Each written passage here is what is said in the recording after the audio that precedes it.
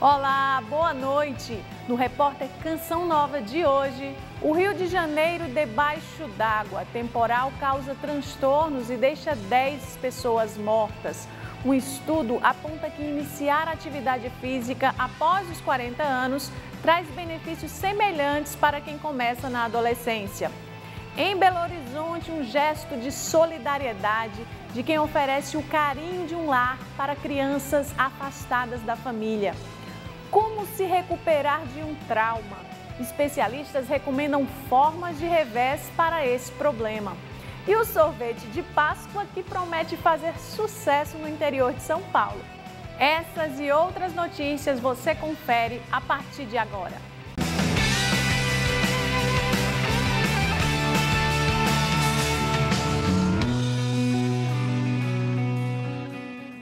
As chuvas torrenciais que inundaram o Rio de Janeiro nos últimos dias deixaram 10 pessoas mortas e provocaram caos na segunda maior cidade brasileira. O prefeito declarou estágio de crise após a tempestade descrita como absolutamente anormal. Não era exatamente esse o cenário que a francesa Evelyn Freeman esperava encontrar no Rio de Janeiro por esses dias. A chuva transformou a escada da casa em que ela estava numa verdadeira cascata. Estou de férias na casa de minha amiga até domingo. É um desastre para ela, não para mim. Voltarei para a França, mas ela ficará sem nada. As chuvas começaram na noite de segunda-feira e permaneceram até meio-dia de hoje. Em algumas partes da cidade choveu até 21 milímetros em 4 horas, três vezes mais que a média estimada para abril. Tenho 25 anos, eu nunca vi uma chuva dessa, cara. Chovia muito, parecia um rio descendo dessa rua aqui, lá Pisquindas como uma ladeira também. Muita chuva, muita chuva, choveu durante umas 5, 6 horas, assim, bastante. E aí você pode ver carro em cima do, do canteiro, isso aqui é um canteiro alto, cara. O carro conseguiu subir aqui com a força da, da chuva. Ruas residenciais normalmente calmas foram transformadas em torrentes que arrastavam pessoas e carros. As estradas principais foram fechadas e 785 lugares na cidade ficaram sem energia elétrica. Os serviços de emergência entraram em ação para resgatar pessoas presas em carros e nas ruas. Quase todas as escolas fecharam. Muitas pessoas permaneceram em casa para evitar o risco de ficarem presas no trabalho. A tempestade foi a segunda maior do Rio em dois meses. Em fevereiro, outra violenta tempestade que atingiu a cidade matou sete pessoas. O Rio de Janeiro busca se recuperar das dores e prejuízos da tempestade que assolou a cidade. Os moradores ainda tentam voltar à rotina. Um dia cinza em que tudo parecia fora do lugar. Só hoje, Ricardo viu o carro ser guinchado, após ficar ilhado na zona sul da cidade. Ligando para o seguro, pedindo o reboque, o seguro falou que estavam com a demanda muito grande, difícil acesso. E só hoje que eles conseguiram um reboque para poder tirar o carro, que por sinal foi o último, aqui tinha mais de 30 carros. Ele conta que foi pego de surpresa durante a chuva. O trânsito parou, então só tinha muita chuva, chovendo bem forte, mas aí a água subiu muito rápido. Em coisa de 15 minutos a água já estava na metade do carro. Foi tudo muito rápido, não, não tinha para onde correr. As marcas nas grades do Jardim Botânico mostram a força da enxurrada que tomou a rua. Uma chuva bastante intensa no Rio de Janeiro, acumulados aí superiores a 300 milímetros em, em, poucas horas. Né? Essa chuva foi provocada principalmente por deslocamento de uma área alongada de baixa pressão entre a troposfera alta, né, a troposfera média e também é, a formação de uma área de baixa pressão em superfície que ajudou a aumentar bastante a convergência de umidade em direção ao Rio de Janeiro. No centro do Rio, bolsões de água ainda dificultavam o trânsito. O túnel Rebouças foi reaberto. A gente está atendendo todos os de curto prazo que a gente pode resolver, alguns de médio prazo, como é, algum deslizamento que precisa de um parecer técnico. Esses, esses eventos a gente está esperando a, a, parte técnica dar o parecer para a gente poder atuar. E a gente está agora aqui na zona oeste do Rio, no bairro Tijuquinha. Nessa rua, por exemplo, os moradores começaram hoje a limpeza das casas. Aqui a areia chegou a um metro e meio de altura na rua e há muito o que se fazer. Desceu essa, essa enchente, essa lama com tudo. E eu, como eu estava no local, ainda consegui fazer essa barragem junto com os moradores, todo mundo ajudou um ao outro. Sem falar dos danos materiais. Perdemos dois dias de trabalho, a, entrou muita lama nas máquinas. Aqui o vizinho aqui do lado aqui trabalha com, com tosa, pegou máquina dele. Mateus viu a casa ser invadida pela lama. Quebrou tudo. Ele foi levando a, a areia, os, os, canos, tudo que tinha, que tinha por aqui. O fogão, que eu construí uma cozinha agora, foi todo. Eu investi 20 mil reais agora, mês passado, perdi tudo. O volume de água quase fez uma vítima na família dele. É só orar e agradecer por estar vivo. A minha avó foi a pessoa que foi levada pela correnteza daqui até o final da rua e conseguiram resgatar ela no final ali da rua. A prefeitura desobstruiu a principal avenida do bairro, enquanto nas esquinas acumulavam o resultado do temporal. Essa foi a maior tempestade dos últimos 22 anos, a terceira forte de 2019. O estágio de, crise é importante para que a gente é, deixe a população sabendo que a gente ainda está é, fazendo uma, um trabalho de normalidade na cidade, de poder deixar a cidade melhor. Para quem está se recuperando da chuvarada, a preocupação é se de lá de cima vem mais água nos próximos dias.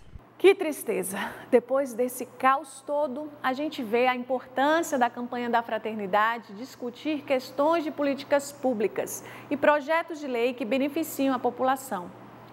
Em São Paulo, a Câmara de Vereadores realizou uma sessão solene para debater e refletir sobre esses assuntos. Cartazes com o tema da campanha da fraternidade deste ano foram espalhados pela Câmara Municipal de São Paulo. A sessão solene foi proposta por dois vereadores que fazem parte da Comissão de Direitos Humanos da Casa. Fraternidade e políticas públicas, tema da campanha da fraternidade deste ano, tem sido debatido em muitas universidades, na Câmara Federal e também em muitas câmaras de vereadores.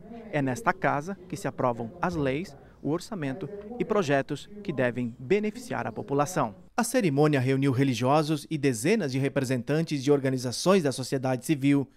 Dom Luiz Carlos Dias, bispo referencial da campanha da Fraternidade da Arquidiocese de São Paulo, destacou que eventos assim dão visibilidade à ação promovida pela CNBB. Nós ficamos felizes né, pelo fato da campanha da Fraternidade ressoar aqui, num ambiente como esse, a Casa do Povo, a casa onde as leis são elaboradas, e esperamos que, com a graça de Deus, eh, com a iluminação de um encontro como esse, leis que ajudem a, a municipalidade avançar na proposição da política, de políticas públicas para os nossos irmãos mais necessitados, de fato, avance. A reflexão de temas sensíveis pode impulsionar um olhar mais cuidadoso dos legisladores em favor de todos, especialmente aos mais necessitados. Então, eu vejo como uma semente para que exatamente não pare nesse primeiro encontro, mas que ele tenha frutos depois. O ideal seria, inclusive, que as discussões saíssem só da, daqui da Câmara e fossem para os bairros, para as subprefeituras ou para as prefeituras regionais, porque é mais perto de onde você está ali do, da escola, ou da creche, ou da unidade básica de saúde, ou a questão do transporte. A campanha tem uma função mais de chamar atenção, reflexão, mas como você diz, eu acho que ela pode ter um fruto mais concreto e além da, da análise além da reflexão, ela poder ter consequências positivas. Uma notícia boa: uma ação do poder público em parceria com a Arquidiocese de Belo Horizonte tem dado à criança e ao adolescente a chance de restabelecer vínculos familiares de uma maneira menos traumática. Exemplo de política pública que busca melhorar a qualidade de vida da população. Infância e adolescência fases importantes da vida em que a presença da família é essencial para o desenvolvimento, etapas em que muitos são afastados dos ambientes familiares justamente por não encontrarem neles a segurança e proteção necessárias. Os locais para acolher crianças e adolescentes durante este período de afastamento quase sempre são os abrigos, mas não só. Há 10 anos, em Belo Horizonte, também podem ser famílias, através do serviço Famílias Acolhedoras. Quando é, se constata uma situação desta, né, e que o órgão de defesa de direitos precisa aplicar uma medida de proteção de afastamento, que inclusive é uma medida excepcional, é a última medida a ser aplicada, né, é, essa criança pode ir ou para uma unidade de acolhimento institucional, que são os abrigos, ou para o serviço família acolhedora, que é o acolhimento em famílias habilitadas para exercer esta função de proteção e cuidado temporariamente. O serviço é uma política pública nacional de assistência, mas sua implantação depende de cada município. Na capital mineira, ele é realizado em parceria com a Arquidiocese de Belo Horizonte há oito anos. A equipe faz um trabalho com a família que está acolhendo, com a criança, para a criança entender por que ela foi retirada da sua família, e com a família de origem ou família extensa. Alguns critérios são observados para que uma família possa se tornar acolhedora. Não possuir antecedentes criminais, o responsável pelo menor ter no mínimo 21 anos e a família estar toda de acordo. Quando Isabela chegou com a ideia de acolher crianças em casa, de maneira temporária, inicialmente assustou Daniel. A princípio eu assustei um pouco, mas é uma escolha que a gente já havia feito né, de estar de, de tá acolhendo uma criança. Tinha uma propaganda grande e no ônibus, família acolhedora, é, no seu coração cabe mais um. E a gente tinha acabado de, de hospedar, né, de, de, de ficar uns, um, foram dois meses, né? Dois, três meses com meu sobrinho, que tem 12 anos. A mãe estava em processo de mudança de casa e nós ficamos com ele três, três meses. E a gente achou a experiência muito legal. Por aqui, há quase três meses, a rotina já não é a mesma. Além dos dois filhos, agora eles estão acolhendo três irmãos. O fato da criança precisar ser acolhida, não ser apenas uma escolha, ela, se ela não for acolhida por, por nós, vai ser acolhida por outro casal, outra família, ou vai para um abrigo. Isso tocou bastante a gente. A missão da família acolhedora é temporária e é justamente essa a beleza do serviço: oferecer um tempo para que criança ou adolescente e sua família de origem tenham a chance de reescrever sua história. Acolher uma criança em casa é dar a possibilidade de, a essa criança de ser protegida e cuidada, né? E ser uma facilitadora do processo de volta para casa. É uma escolha de, de poder oferecer algo para o próximo né? Então, essa é uma grande oportunidade de você se entregar e dar o seu melhor para ajudar o próximo.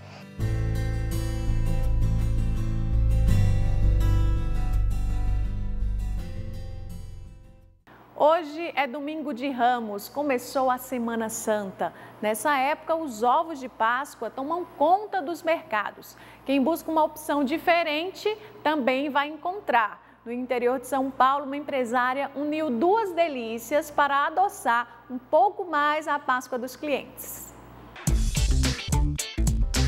A casca é de chocolate, mas o recheio de sorvete. Tem como dizer que essa delícia não vai agradar? Impossível. Esse é o gelato de Páscoa, uma novidade artesanal que surgiu no ano passado para adoçar o paladar dos clientes no interior de São Paulo. Hoje em dia, é, muitas vezes você vai num supermercado, num shopping e você tem as coisas tudo muito iguais, né? Às vezes as compras são feitas por impulso. Ano passado a gente começou a fazer essa montagem do gelato de Páscoa e deu super certo, né? A aceitação foi enorme. Nesse ano não seria diferente a invenção da Sandra ganhou novos sabores e mais adeptos. Novidades de coberturas, enfim, né? Temos veganos, diet, né? Para todos os gostos. O diferencial, segundo a proprietária, está na matéria-prima e no cuidado com a produção. Os itens são sempre naturais e garantem mais qualidade à encomenda. Além dos produtos frescos, sem a utilização de açúcar e conservantes, cada gelato de Páscoa desse aqui é preparado de um jeito exclusivo. O cliente escolhe o sabor do sorvete, que serve de recheio, e também a cobertura. Diferentes combinações, como doce de leite com café, acabam fazendo a alegria dos clientes. Toda semana a gente cria novos sabores. E a pessoa pode pedir realmente o que ela imaginar, a gente faz. O céu é o limite. Não pense que as novidades param por aí. Em 2020, a promessa é de recheio também na casca de chocolate. Mas quem decidir inovar no sabor na Páscoa desse ano já vai sair ganhando. Como Marcelo, que pensou em uma combinação exclusiva para Maíra. A mistura de tapioca e coco com maçã, canela e chocolate fez a alegria da namorada. Ele acertou, gente. Realmente os que eu mais gosto. Acertou.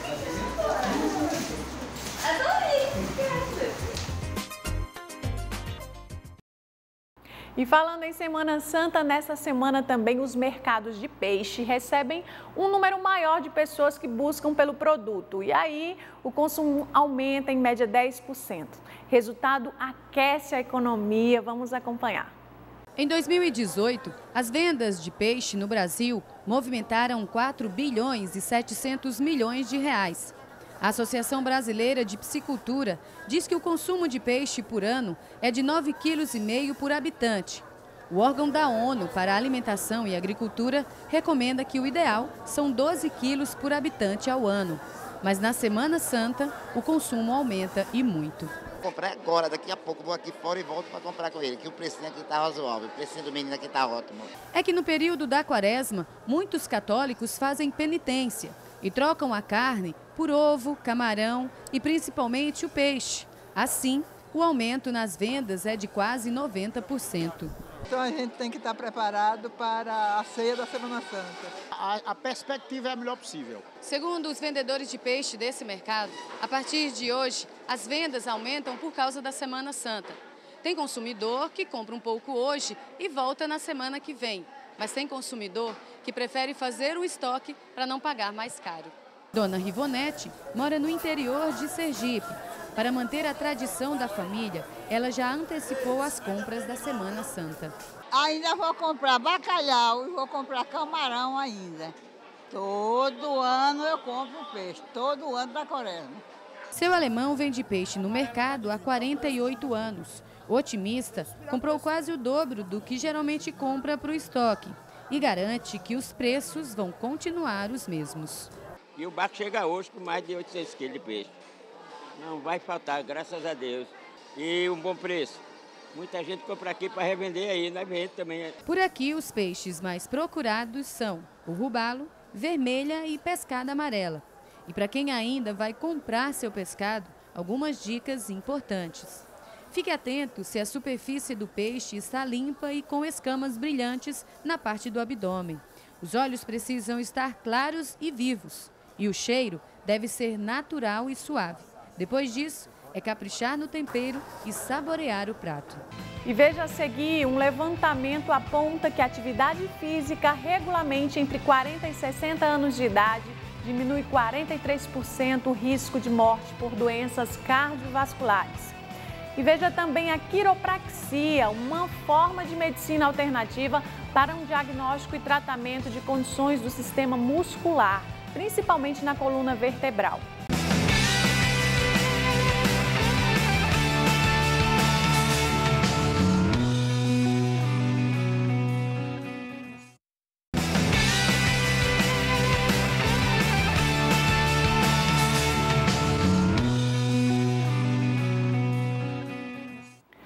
Medicina sempre indicou alimentação equilibrada e exercícios físicos regulares para uma vida saudável.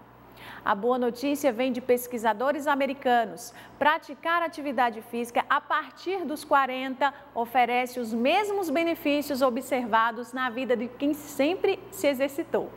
Eles chegam na praça bem de manhã.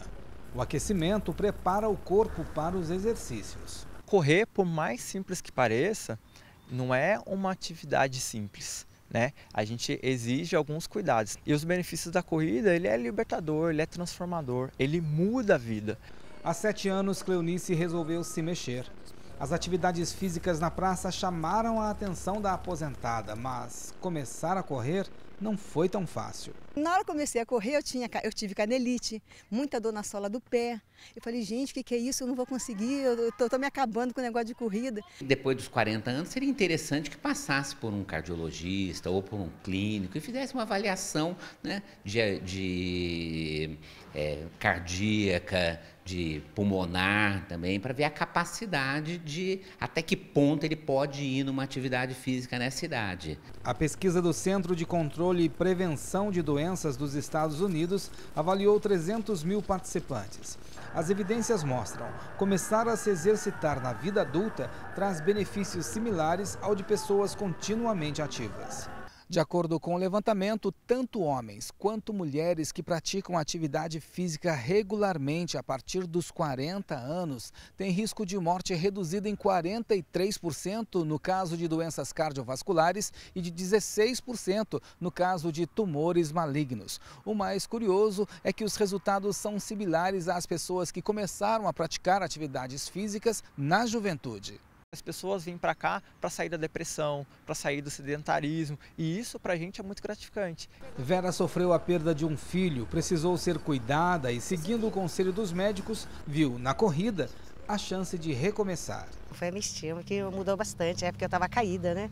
Então agora, para mim, é, é, outra coisa. Em qualquer idade, ela vai trazer benefícios. Você melhora a capacidade pulmonar, melhora a, a capacidade cardíaca, melhora o preparo físico. Isso faz com que a pessoa tenha mais resistência, né? Com tantos benefícios, quem corre na praça sempre espera novos amigos. Aos pouquinhos ele vai pegando gosto caminha, depois corre um pouquinho, caminha de novo. Hoje eu me sinto não tão preparado que a respiração, acho que eu preciso melhorar minha respiração. Eu vou buscar essa melhora, estou buscando essa melhora. E eu recomendo, estou seguindo em frente. Obrigada. Um, dois, três, corre! Ainda falando sobre saúde, entre as maiores profissões da área estão a medicina, a odontologia e a quiropraxia, profissão que trabalha com diagnóstico de tratamento e prevenção da saúde com técnicas manuais. Um bilhão de pessoas no mundo são afetados por dores de cabeça e enxaquecas, realidade que atinge 30 milhões de brasileiros. Gente como Cecília, que por muitos anos sofreu crises com frequência e sempre em busca de tratamentos. Já, já tinha feito com um neurologista, acompanhamento, aqueles diários de, do que você come, para tentar descobrir né, a, o motivo da enxaqueca. Há dois anos, a dona de casa conheceu a quiropraxia, uma das terapias manuais mais utilizadas e que dá enfoque na manutenção e restauração da saúde. Um reajuste biomecânico, através de uma manipulação, você consegue realinhar sua coluna vertebral. Ah, alinhando sua coluna vertebral, você tira as aderências, as fibroses, as tensões musculares, melhorando a circulação sanguínea. Apesar de ainda sofrer resistências, a quiropraxia é uma especialidade da fisioterapia que tem dois objetivos: o realinhamento vertebral e a prevenção de problemas articulares. Como resultado, diminuição de dores, relaxamento muscular, entre outros benefícios. 90% da população brasileira tem uma dor na cabeça. Ela pode estar relacionada com enxaqueca, uma compressão nervosa. A prática não curou totalmente a enxaqueca que incomodava Cecília toda semana, mas aliviou as dores, que agora aparecem duas ou três vezes ao ano.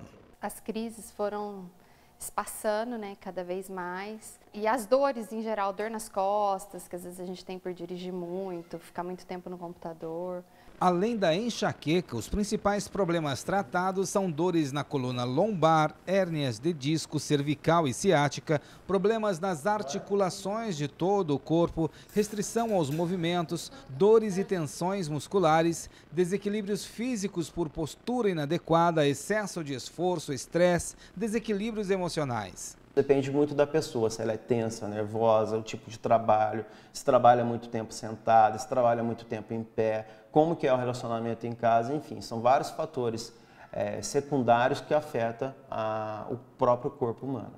Após tratar a dor, muitos adotam a técnica como hábito por perceber melhoras na qualidade de vida, no sono, no controle do estresse e benefícios que nem imaginavam. Ela consegue amenizar, diminuir através da manipulação, diminuindo o risco cirúrgico do paciente. Tratamento que Cecília não quer deixar de fazer. Ah, se depender de mim vai ser para sempre.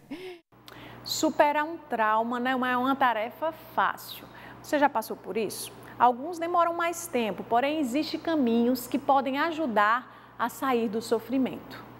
Juliana e Marcos eram mais um casal que se preparava para o casamento. Em uma noite, ela recebeu um telefonema. Ele perguntou como estava e ele se despediu dando boa noite, dorme com Deus e eu te amo. Mas no outro dia, pela manhã, teve a notícia de que o namorado havia sofrido um acidente fatal. Marcos não voltaria mais para casa. E é uma notícia que a gente não tem noção do que é só quando você passa e vive, porque são milésimos de segundos que mudam a vida. A perda repentina foi o motivo do trauma de Juliana. E você não sabe o que, que você faz, que caminho que você toma. Então foi, foi um trauma que tanto que durou por três anos. Ninguém está imune a sofrer traumas e o luto nem sempre é a única causa. O impacto emocional pode estar associado a muitos acontecimentos, em alguns casos até vividos na infância ele vem sim através de fatos né, de assalto, de estupro, de qualquer outro tipo de acidentes, mas também de alguma situação vivida em sua família. Por exemplo, se a mãe deixar a filha cair no chão, ou se esquecer a filha na escola, né, isso pode gerar um trauma na vida da criança. A psicologia diz que a pessoa, quando passa por uma situação negativa grande, ela tem dois caminhos: a superação e o trauma. O que acontece é que muita gente acaba seguindo por esse lado. Essa escolha depende da história de vida de cada um. Nessa trajetória, nada fácil, dá para ter em mente uma coisa: que o desafio vai ser sempre menor que o ser humano. O primeiro passo é assumir o problema, retomar a situação e, com reflexões, trabalhar o estado psicológico.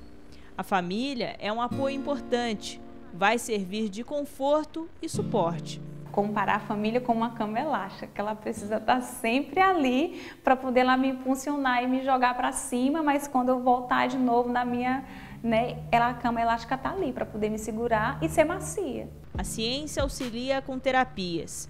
Outro passo considerado fundamental é a espiritualidade. Ela pode me levar a viver essa, esse perdão e, consequentemente, o meu físico ele talvez não seja tão abalado. Juliana conta que a fé foi sustento.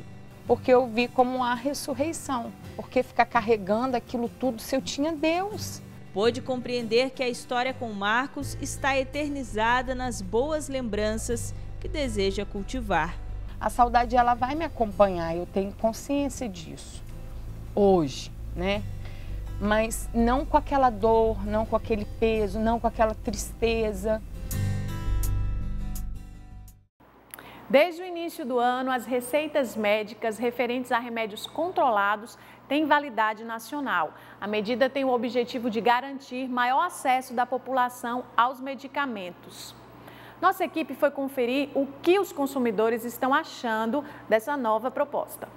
Dona Maria mora no estado de São Paulo toma dois remédios controlados. Em uma viagem ao Rio de Janeiro, teve dificuldades para comprar os medicamentos. Cheguei lá, aí queria, não conseguia receita e não consegui comprar. A gente fica meio constrangido, né? Porque pensa que precisa do medicamento e não pode comprar, né? É difícil, né? A burocracia era comum. A pessoa que precisava do remédio tinha que ir a um posto médico para trocar a receita. Nesse início de ano, a determinação está diferente. As receitas brancas e azuis, que tratam de medicamentos controlados, são válidas para compra em qualquer lugar do Brasil. Receitas azuis, que são a receita B, para medicamentos psicotrópicos, e receitas branca, que são para medicamentos também de controle especial, tarja vermelha, como antidepressivos, a nova lei, no entanto, não trouxe alteração quanto à validade das notificações de receitas A e das receitas de controle especial do regulamento da Secretaria de Vigilância do Ministério da Saúde. De acordo com a Associação dos Laboratórios Farmacêuticos Nacionais, a nova medida tem a proposta de garantir maior acesso da população a medicamentos. E em pouco tempo em vigor, a mudança já agradou. Aí é bom, que aí a pessoa está em outro lugar, dá para comprar, consegue comprar, né? Fica mais fácil, né? É uma facilidade mais para quem precisa, né? Essa mudança é positiva porque o paciente agora ele pode viajar tranquilo e adquirir o medicamento dele em qualquer estado, sem que ele tenha que interromper o tratamento, porque a farmácia também ela quer atender todos os clientes, né, da melhor forma possível e às vezes ficávamos de mãos atadas sem poder ajudar o paciente. E a dona Maria, como tem se adaptado à novidade? Para mim ficou bom, tá bom, muito bom. E a gente muda de assunto para falar sobre tecnologia. O vazamento de dados virtuais é uma realidade e os riscos são reais. Qualquer pessoa pode passar pelo constrangimento de ter seus dados expostos. Nossa equipe conversou com especialistas no assunto que deram algumas dicas de segurança no ambiente virtual. Um bilhão de pessoas conectadas em rede social no Brasil, número que tende a aumentar frente aos novos avanços tecnológicos. A inserção de dados pessoais na web é proporcional e a probabilidade de serem acessados indevidamente também. É, hoje as empresas coletam dados no mercado de diversas fontes, né? É, isso vai ter que ser uma vai ter que ser revisto pela lei. As empresas vão ter que coletar mediante fontes listas, em baseado naquelas 10 hipóteses como eu falei, a mais importante é o consentimento, é você autorizando. Na semana passada, uma empresa de segurança virtual comunicou que milhões de dados de usuários do Facebook estavam expostos na internet. Dias depois, a rede social afirmou que os dados já estavam em segurança. Mesmo assim, acendeu o alerta novamente para o vazamento de dados na internet. Ainda que o dado não seja copiado, não seja corrompido, o simples acesso por uma pessoa que não deveria ter acesso àquele dado para verificação, por exemplo, já é considerado, um, um, um, de, de, certa forma, um vazamento de dados. A responsabilidade pela segurança dos dados, segundo os especialistas, é da empresa, mas o usuário tem sua parcela de atenção. Com relação ao usuário, é importante que ele tenha consciência do que aconteceu e procure, perante essa, essa empresa ou essa autoridade, obter as informações necessárias para se proteger e se blindar desse incidente. Para tornar a navegação mais segura, algumas ações podem ajudar. Entre elas, criar uma senha forte, atualizá-la periodicamente e ter atenção especial na hora de usar equipamentos de terceiros. É, não clicar em qualquer tipo de link que você eventualmente venha receber, mesmo dentro da plataforma, que possa te remeter a algum site fora de uma rede social que você tenha utilização. São cuidados pequenos, mas imprescindíveis para o bom uso da internet para a segurança da, do usuário. A Lei Geral de Proteção de Dados também vai atuar em favor dos usuários. Já foi aprovada e sancionada em 2018, mas só entrará em vigor a partir de 2020. A proposta vai mudar o comportamento de empresas e usuários em relação aos dados. Foi criada uma agência reguladora que vai ter esse papel, junto com o Ministério Público e com os órgãos de proteção ao crédito, de fiscalizar todas as empresas que trabalham com dados pessoais.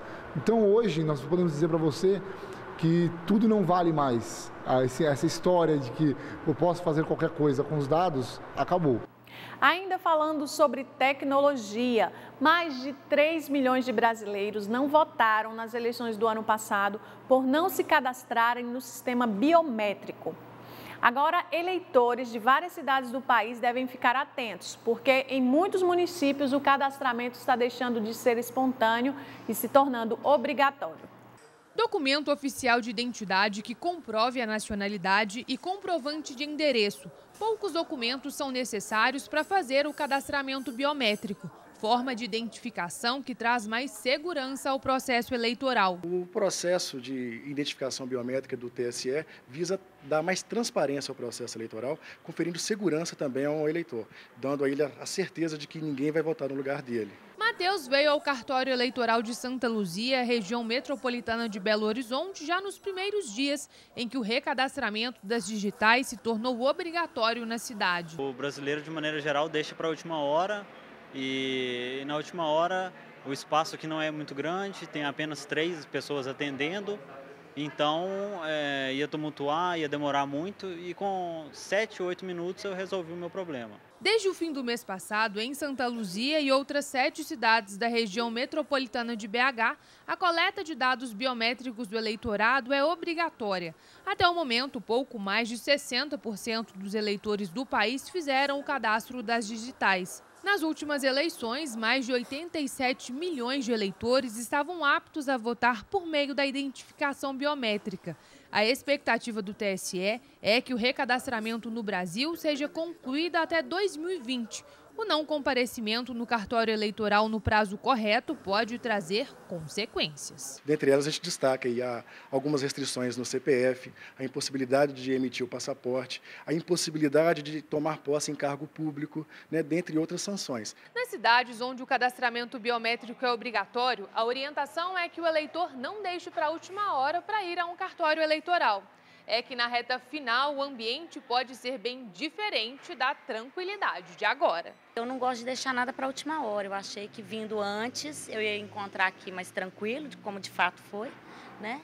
E aproveitava o intervalo do meu trabalho, o horário que eu tenho mais tranquilo, para já resolver isso. A rapidez para fazer o recadastramento surpreendeu Dona Neuza. Eu vou falar com a menina lá que pediu perguntar para ela, né, para ela vir. Aí a menina que é melhor vir agora no começo, que você em fila. Em muitos municípios brasileiros, como é o caso de Belo Horizonte, o recadastramento biométrico ainda é espontâneo. Mesmo assim, é bom o eleitor ir se adiantando para depois não ficar corrido. Em três anos e meio, em que a biometria foi espontânea, o cartório atendeu aproximadamente 25% do eleitorado. Agora, em pouco mais de 11 meses, teremos que atender 75% do eleitorado. Então, a tarefa é árdua, a gente conclama o eleitor, não deixe para a última hora, compareça o quanto antes ao cartão eleitoral para fazer a sua biometria. Você confere no próximo bloco. São Paulo, com mais de 12 milhões de habitantes, está na lista dos 10 centros urbanos mais populosos do mundo. E nessa terra de imigrantes, uma feira de construção civil mostra que o setor começa a se recuperar. Teve até construção de casa em 24 horas.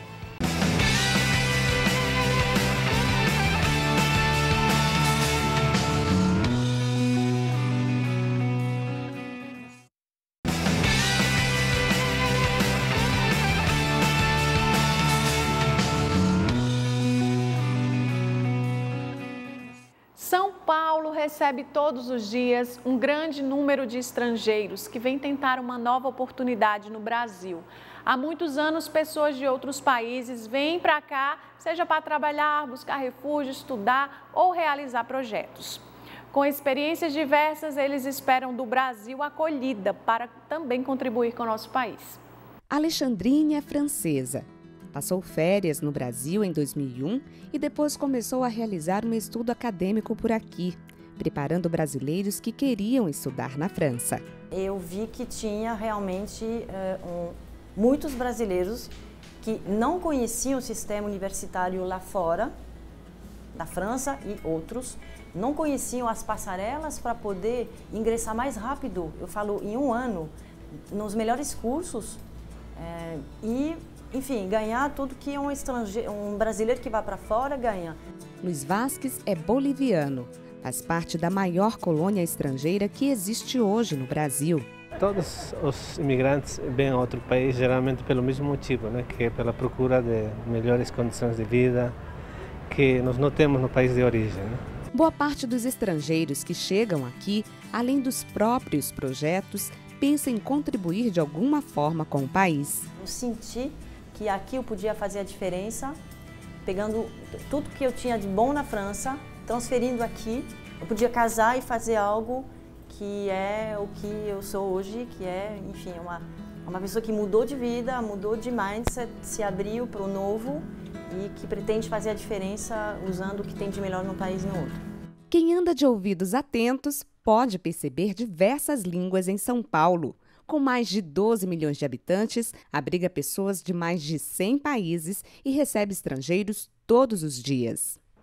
Mas a história da imigração em São Paulo não é de agora. Este prédio do século XIX, onde hoje funciona o Museu da Imigração, já serviu de porta de entrada para muitas famílias que vinham ao Brasil passando por São Paulo. A imigração aqui para o estado de São Paulo, ela se intensifica a partir de, do final do século XIX, então anos 1880, 1890.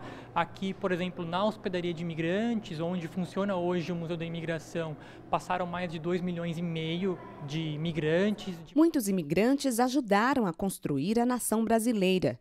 Neste museu, os registros resgatam as origens de brasileiros descendentes de estrangeiros. Mas o fluxo de imigração não para e os que chegam ao país têm necessidades bem parecidas com as dos imigrantes do passado. A vida todo imigrante é difícil, né? porque é, nenhuma empresa quer dar trabalho a um imigrante.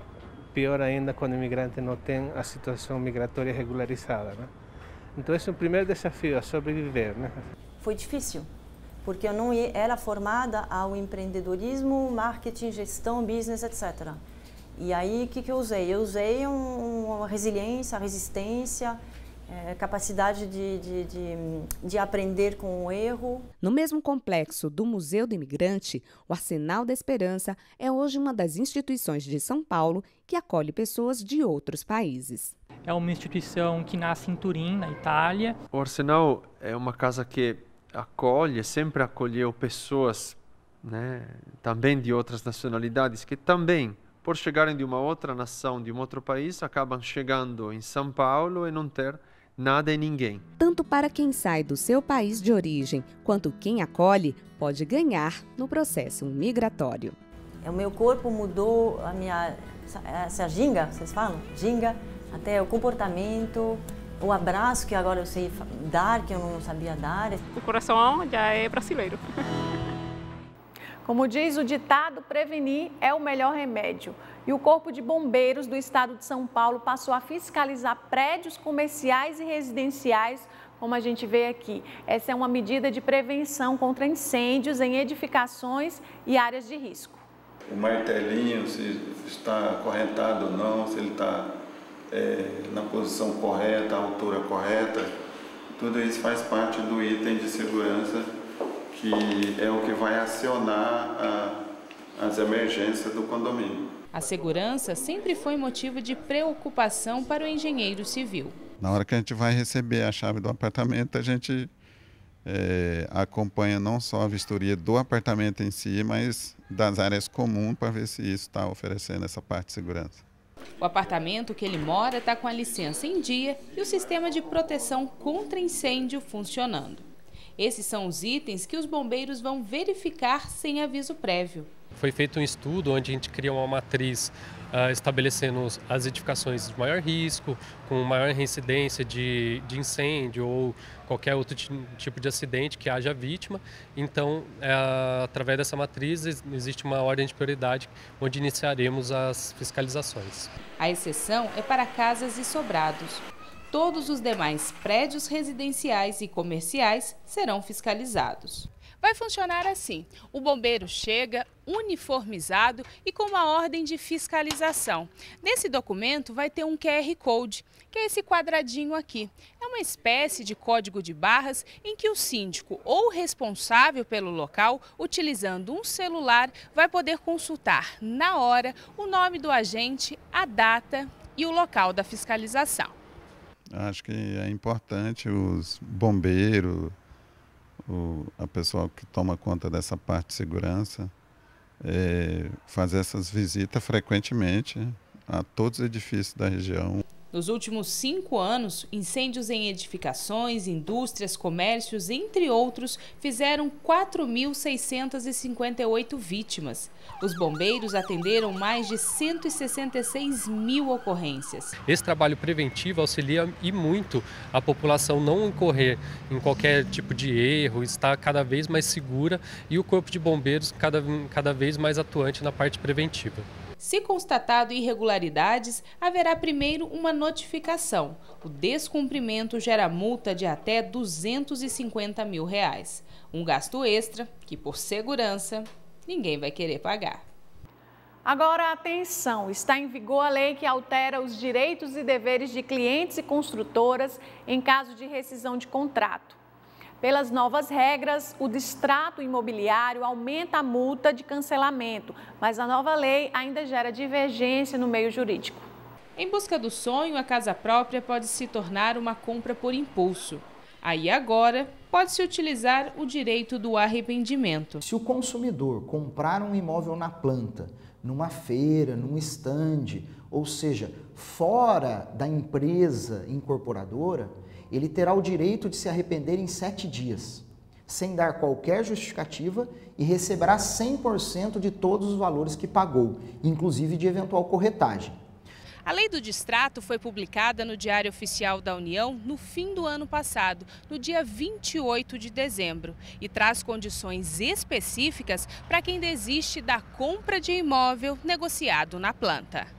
A multa para desfazer o negócio será de até 50% do valor já pago à construtora. Essa regra contratual estando escrita, significa que o consumidor, comprador do imóvel, aceita aquela regra. Nós, inclusive, certamente olharemos para o contrato, porque esta cláusula deve ser destacada. O Código de Defesa do Consumidor exige o destaque em letras maiores, negrito para que o consumidor, ao assinar, possa realmente verificar o teor. O diretor do Sindicato da Habitação do Vale do Paraíba disse que a medida traz mais segurança. Hoje, isso nos trouxe mais segurança jurídica nas questões de relacionamento com os nossos compradores. A lei anterior ela, ela obrigava as construtoras a devolver os valores investidos menos as despesas. Para fugir da multa, só se encontrar um novo interessado em assumir a dívida.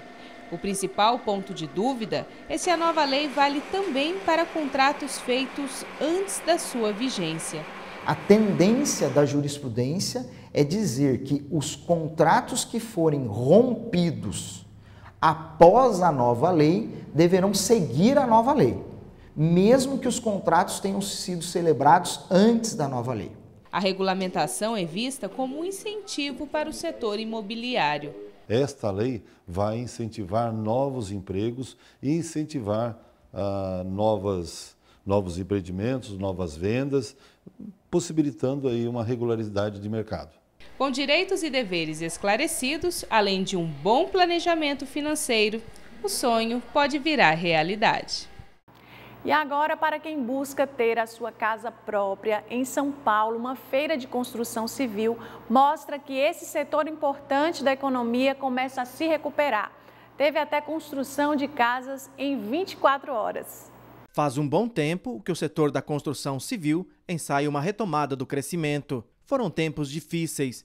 Em quatro anos, quase um milhão de vagas foram fechadas num setor que funciona como uma locomotiva para a criação de postos de trabalho. Mas o que se vê nesta feira em São Paulo é que 2019 tem tudo para ser diferente. Entre fechamento e abertura de vagas de emprego neste ano, o saldo é positivo. 26 mil oportunidades foram criadas. A economia como um todo sofreu, mas 2018 a gente pode dizer que foi um ano de recuperação, o início de uma recuperação. Para 2019, a gente espera que esse crescimento ele tenha continuidade e a gente está trabalhando para isso. As vendas estão reagindo. Em março, subiram 2%. Mas o que está em alta mesmo é a expectativa dos varejistas. 70% acreditam que os negócios devem aumentar neste mês. De um crescimento projetado de 8,5%, esse ano, já é, mostrando um resultado em relação a fevereiro de 2%, ou seja, aquilo que a gente tinha, está projetado, é, foi projetado na parte de crescimento está se configurando. O que se vê nesta feira também é que o setor da construção civil precisa se reinventar, apostar em novas tecnologias e, com isso, aumentar a produtividade e voltar a crescer. O que nós estamos vendo aqui é a demonstração de como construir uma casa em 24 horas. Uma equipe de 11 pessoas começou essa construção há pouco mais de 4 horas e olha só a situação que ela se encontra, praticamente pronta. Seria uma das soluções para resolver o problema da habitação no Brasil. A casa projetada nos moldes do programa Minha Casa Minha Vida tem dois quartos, sala, cozinha e banheiro. Para suprir o problema da falta de moradia, seria necessário construir 1 milhão e 200 mil unidades por mês, 4.500 por dia ou 190 por hora. O Brasil hoje tem um déficit habitacional de mais ou menos 7 milhões de moradias Então essa proposta aqui é a proposta de uh, off-site construction, que basicamente é construir tudo o que for possível fora, na indústria, e o canteiro de obras ser simplesmente uma montagem. Para transformar o país no canteiro de obras, o setor aposta em novos meios de produção, mais eficientes, sustentáveis e que, ao mesmo tempo, estimulem novas oportunidades de trabalho. 300 metros de chapisco no dia, 60 metros de chapisco no dia, de reboco. Ah, vai dar em torno de uns dois pedreiros aí, três pedreiros. Mas eles não vão ficar desempregados, não, né? Não, não vai, não vai, porque só facilita, né? Mas não tira a mão de obra, né? O repórter Canção Nova chegou ao final. Desejo a você uma abençoada Semana Santa. Nós nos encontramos no domingo da ressurreição com um programa especial direto do Santo Sepulcro em Jerusalém. Você acompanha outras reportagens durante a semana no telejornal Canção Nova Notícias. Acesse também a nossa página na internet, notícias.cançãonova.com. Deus abençoe você, uma ótima Semana Santa.